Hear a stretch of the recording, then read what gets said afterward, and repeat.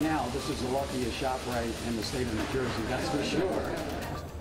The president there of Saker ShopRites, all smiles today. A winning Mega Millions lottery ticket worth $1.3 billion was sold at a ShopRite store in New Jersey.